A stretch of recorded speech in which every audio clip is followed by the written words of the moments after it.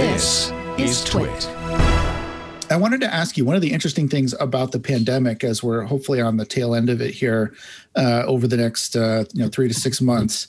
Yes. Yes. Uh, uh, you know, I know that I know that there's been like an increase in uh, uh, uh, a need for like things that you wouldn't expect, like COBOL programmers, right, are in high demand right now. Because a lot who, of these have old who would have thought like 18 months ago we'd be talking about COBOL, right? Exactly, exactly. But I'm kind of curious from both the mainframe standpoint and just from the Linux Foundation standpoint, like how has the pandemic affected what you guys do? Not in terms of how you operate, but are you having to help these uh, projects in different ways because of the effects of the pandemic?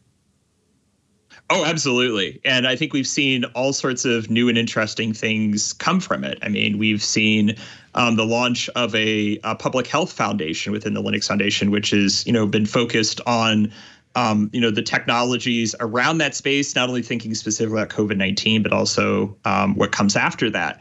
Um, you know, we have seen uh, folks really uh, moving more towards a lot of online and digital learning because they're just you can't go to conferences right now, so this is the only way you can learn. And um, our events team, um, you know, in the early days of the pandemic, spent six weeks and researched all of the platforms out there, um, and spent a lot of time figuring out these communities they want to get together. They want to engage with one another. They can't do it in person and it's really frustrating but what is a way that we can emulate that as strong as possible and they've they've really tried to lead the way and in figuring out ways to do that in a very um, professional way, but also in a way that's really engaging um, a lot of folks, and, and a lot of those um, pieces of you know transform over time.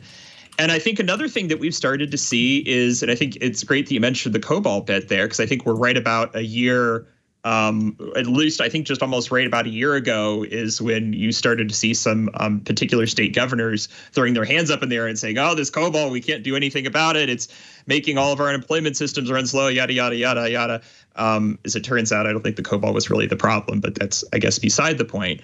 Um, but what we have seen is um, different parts of our society have been taxed in different ways that we have never expected or encountered ever before. And um, I think uh, unemployment in those systems, which many of them are built upon decades and decades of um, you know code, a lot of those on on technologies that um, you know maybe aren't the newest and shiniest. There's probably not a whole lot of unemployment systems that are written in Rust, um, for example. You never know. There probably is one. Somebody in the chat will find it.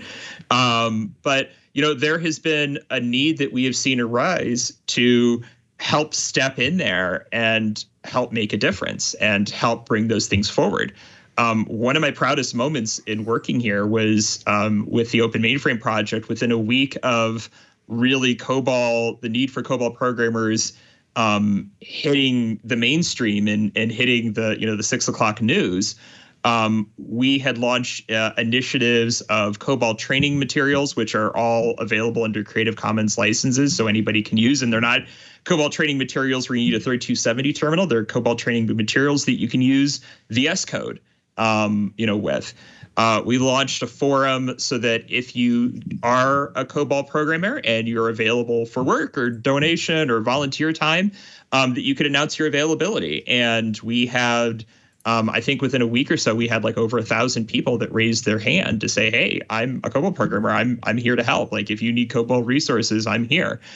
Um, and furthermore, then we've also started to see uh, a language like COBOL um, start to look towards. And I hate to always say modern because it makes COBOL seem old because it's it's really um, a technology still being taught. It's um, has a lot of legacy built behind it, but you know you where you would normally see certain tooling available for a language like unit testing, like debugging, um, you know, like different sorts of frameworks available. COBOL didn't have a lot of that out there, um, and a lot of it really came from its legacy. Is um, you know, I grew up a computer science grad. Most people who were computer science grads were not taught COBOL. If you were in the business administration or the business science um, schools, you were taught COBOL. Um, it's the same way as math majors were probably taught a lot of uh, MATLAB and things like that, where um, you know, computer science major may not be an, or R, for example, where a computer science major wouldn't have been exposed to that.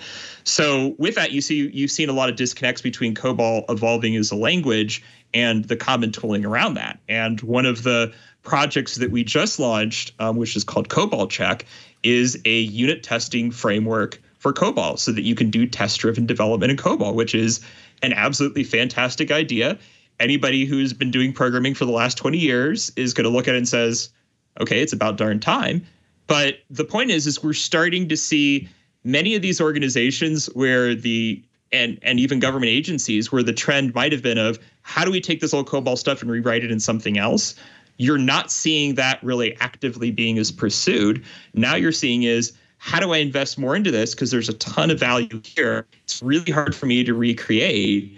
Um, but if I have tooling and everything that is helping accelerate and helping make the quality of that code better, let's invest that way because um, I don't want to redo decades and decades of logic. So, you know, we've seen it in just so many different areas. Um, you know, we've partnered with IBM around the Call for Code initiative, and we've, you know, we've seen all sorts of interesting um, you know, projects and coding ideas that are really helping benefit our society as a whole. Um, you know, we've seen a number of our projects launch different diversity and inclusion um, initiatives, especially with a lot of the things that, at least for uh, folks in the United States, that we have been seeing that, um, you know, within our culture. Um, and you know, I, I think you know sometimes you know, pandemic. I think it's really been hard on all of us.